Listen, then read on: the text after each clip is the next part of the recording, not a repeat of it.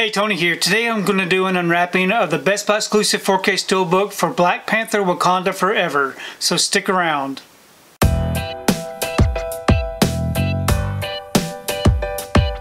So I received my order for Black Panther Wakanda Forever, the collectible Best Buy exclusive Steelbook. Here's the front, and here's the back.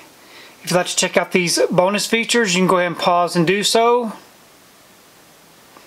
I'm to go ahead and remove this from the wrapper and we can take a closer look at this steelbook. Okay, I've got the wrapper off and the J card removed. Here's the front of the steelbook.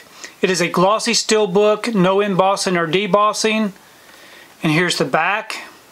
So we open it up. It continues from the front and the back. Really nice looking artwork. On the inside, we do have a digital code and our two disc.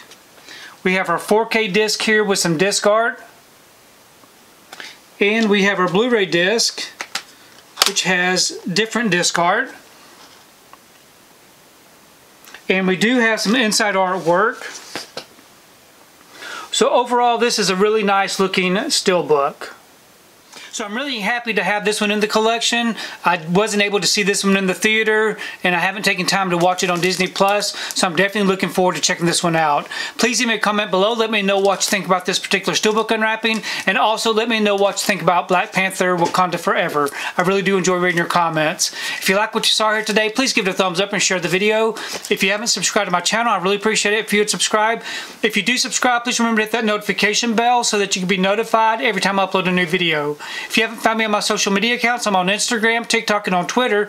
And if you'd like to find out what I've been watching, you can find me over on Letterboxd. I do have links below. But thanks again for watching, and we will see you next time.